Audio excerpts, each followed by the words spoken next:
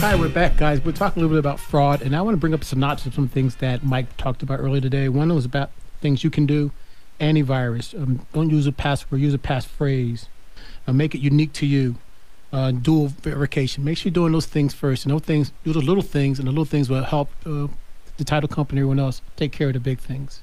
Yeah, he suggested where you can't hit a driver, I believe. Now you have to change your password. That's all I'm saying. You just out, That was, it an out there. that was an example. I don't want to lose a golfing buddy. I just want to make that clear.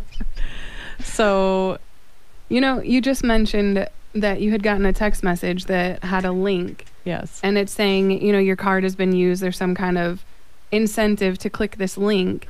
And clicking that link is how they catch you. You know, that's how they're able to get some information out of you is by clicking links. Mm-hmm. And so I think it's important just to notice too that when you're getting an email, if there's anything suspicious about it, you want to be paying attention and don't just click a link just because it's there.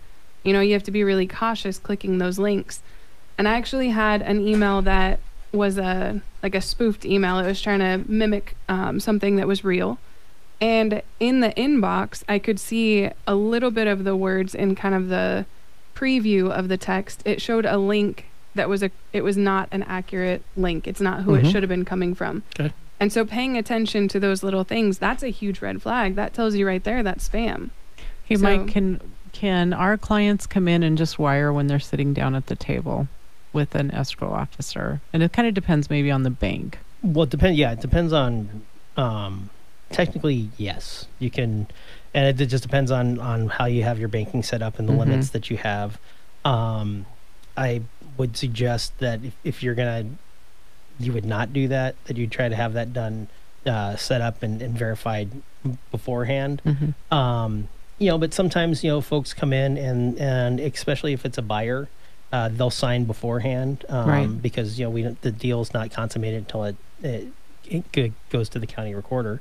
Um, but at that point, you we can sit there and we can verify.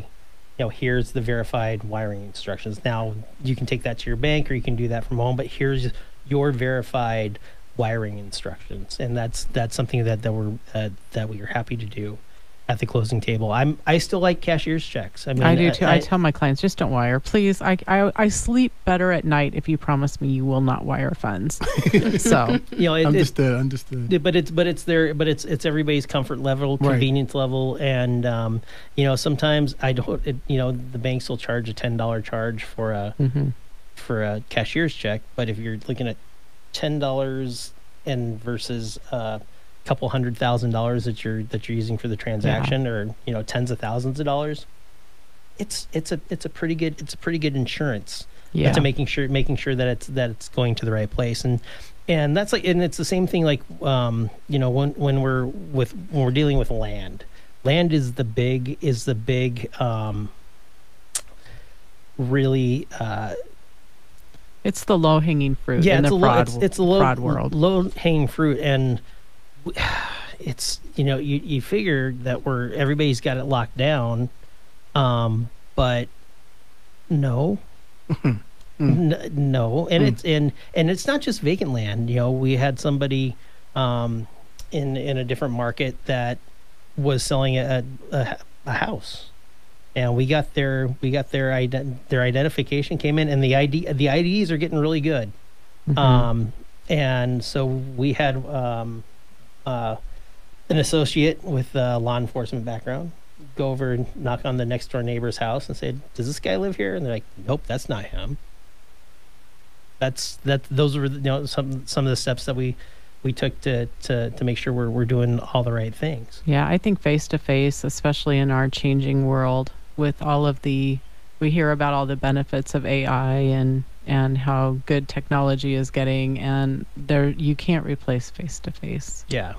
Well, and, and and we've got some we've got some some some tools that we that we're using now, some new technology um, that at least uh, you know tries to match up. Like if somebody's got an ID, we we have a program that you know they photograph their ID, they photograph their face, and we you know do you look like the ID? Mhm. But the other thing that we that we look for is is where the um, where the the transmission's coming from, where Right. where, the, where where they're located, their IP address, and oh hey you're supposed to be in wyoming and now you're in uh, actually south africa is is um, been like one of the places and like oh Right. nope you're not that person or we ha- we have reason to believe you're not that person so um yeah it's it's just it's just really uh you know um a situation where you want to look at how you can protect yourself and so as what we do as a as a as a title and escrow companies we're two parts So the escrow side is we're dis- disinterested third party that handles all the instructions that we're given And we thank you for that. Oh, yes. thank Thank you, thank you, thank you. we have our, we have we have people we really really like, but at the end when during the transaction we're disinterested. Mhm. Um, we're going to follow the instructions. And then there's the other side where we're we're actually you know the the the seller and buyer are are, are, are purchasing title insurance, and that's and that's an insurance policy that's protecting their interest and usage in that in that property. And what's interesting about ti- about title insurance, unlike other insurance policies where it protects you going forward, title insurance protects you from when you when you acquire the property to going back.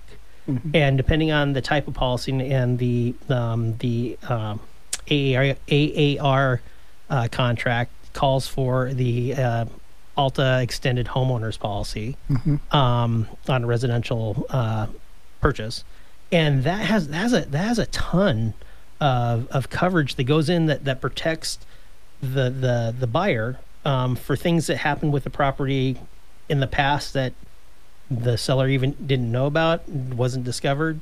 Um, one one one that it that it protects against is forgeries. Mhm. Um, but the other, but the other thing is, is if there's encroachments or, or, or, or easements that that that should have been disclosed, so you know how to use that property, you know where things are located.